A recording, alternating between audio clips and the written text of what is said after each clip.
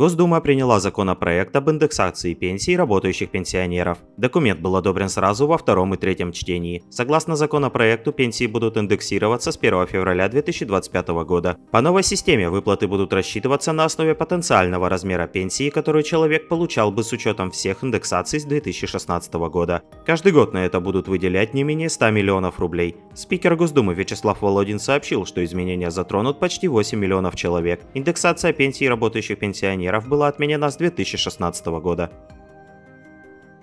К 11 годам колонии строгого режима приговорили героя России подполковника Ирека Магасумова за убийство 18-летней девушки. Военные планируют вернуться на СВО. По версии следствия, подполковник Магасумов вместе со служивцем Павлом Яскевичем познакомились в Луганском кафе с 18-летней Дарьей Киселевой и ее подругой. После закрытия кафе военные предложили девушкам пострелять из пистолета. Один из выстрелов смертельно ранил Киселеву.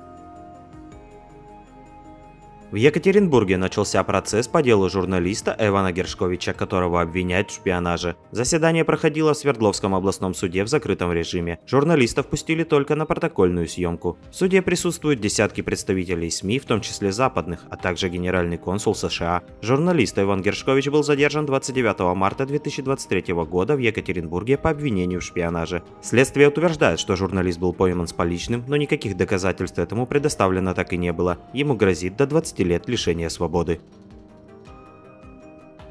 В Госдуму внесли законопроект о запрете иностранным агентам и иностранным гражданам быть членами Общественной палаты Российской Федерации и региональных палат. В 2020 году Путин заявил, что статус иностранного агента не ведет к запретительным шагам со стороны государства. В мае 2024 он подписал закон, запрещающий иностранным агентам избираться на выборах любых уровней и наблюдать за ними. Спикер Госдумы Вячеслав Володин назвал закон очень гуманным, демократичным и либеральным. Я не признаю и не уважаю ваш суд. Он служит не справедливости, а нацистской диктатуре Путина. Убийцы подлеца тирана. Публициста и диссидента Александра Скобова оставили в СИЗО. Санкт-Петербургский городской суд отклонил апелляцию на его меру пресечения. В самом начале заседания Скобов отказался признавать авторитет суда и отвечать на его вопросы, и не стал даже вставать по просьбе судьи.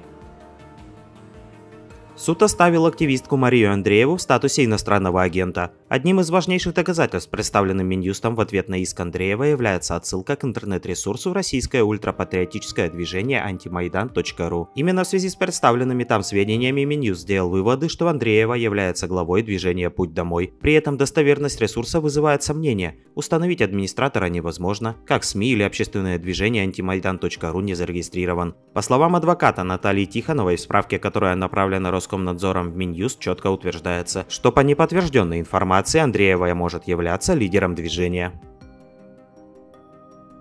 Девять вагонов пассажирского поезда Воркута-Новороссийск сошли с путей на перегоне под Интой в республике Коми. Около 70 человек пострадали при железнодорожной аварии под Интой, сообщают в органах. Всего в перевернувшихся вагонах было около 150 пассажиров, а погибших не сообщается. МИД Российской Федерации заявил о персональных санкциях в отношении граждан Новой Зеландии и Австралии. На сайте ведомства появились два заявления о наложении персональных санкций на антироссийски настроенных граждан Новой Зеландии и Австралии. Санкции выражаются в бессрочном запрете на въезд в Россию. В каждом из заявлений находится поименный список людей, формирующих антироссийскую повестку дня.